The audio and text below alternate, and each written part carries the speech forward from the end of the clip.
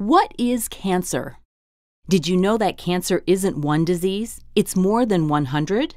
But all cancers have something in common, and this video explains what it is. Cancer is a disease that starts in our cells. Our bodies are made up of trillions of cells, grouped together to form tissues and organs, such as muscles and bones, the lungs, and the liver. Genes inside each cell tell it to grow, work, divide, and die. Normally, our cells follow these orders and we remain healthy. But sometimes the instructions in some cells get mixed up, and these cells start to grow and divide uncontrollably.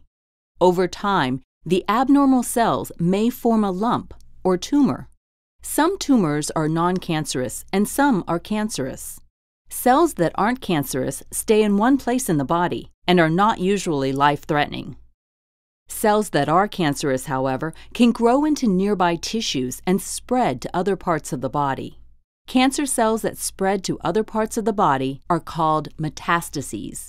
The first sign that cancer has spread or metastasized is often swelling of nearby lymph nodes, like those in the neck, underarm, or groin areas. But cancer can spread almost anywhere in the body. Cancers are named after the part of the body where they start. For example, cancer that starts in the bladder but spreads to the lung is called bladder cancer with lung metastases. To find out more about cancer, visit the Canadian Cancer Society online at cancer.ca or call 1 888 939 3333.